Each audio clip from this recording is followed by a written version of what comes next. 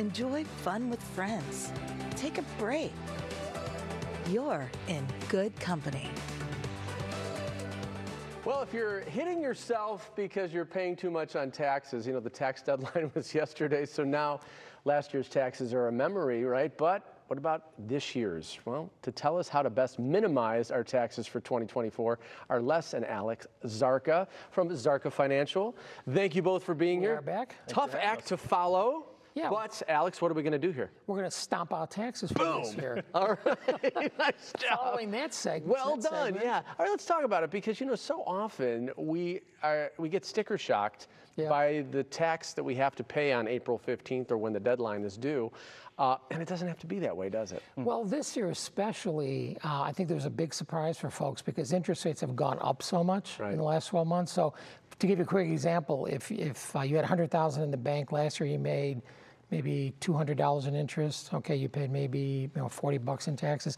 That same 100,000 would generate about 5,000 of interest. You're talking about $1,400 in taxes. Wow. You know, so that's good news, bad news. The good news is you made more money. The bad news is that now all of a sudden you Right. got a lot of You taxes. gotta to give pay. it back. And that's not withheld on. So that's something that you have to pay at the end of the year. So, you know, for a lot of times, you know, what we're telling folks is, you know, you've got to start planning at the beginning of the year. You know, especially now with interest rates staying this high, you know, looking at alternatives, looking at you know maybe tax-free bonds, looking at you know something you know deferred accounts, anything that'll help you next year when you file your taxes. But you got to start that now. You can't wait until you know December. So, Alex, let me ask you this then: If that's the case, um, are we?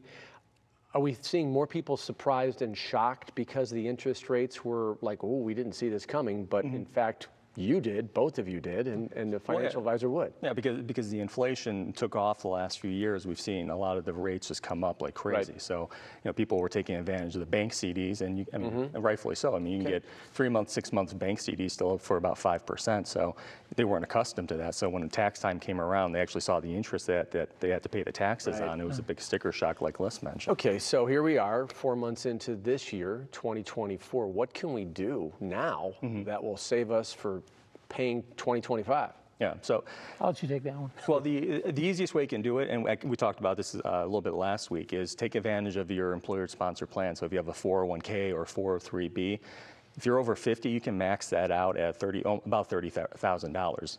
Okay. That will lower your taxable income by $30,000 for that year. So keep in mind that thirty thousand then saves you, you know, give or take about nine thousand dollars in taxes.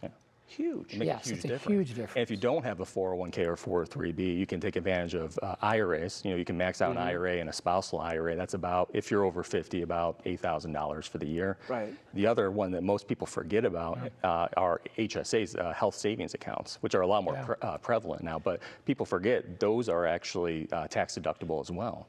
So if And you if you have a family deductible, it's tax free. and it's tax, it grows tax free and comes out tax free. So if you have a family, that's another eight thousand dollars that So lowers i- your taxable income. If we're looking at it like income as marbles, and I'm not trying to break this down too sim- simplistic, but we all want more marbles. We want to make more money, but if we only have 10, Mm-hmm.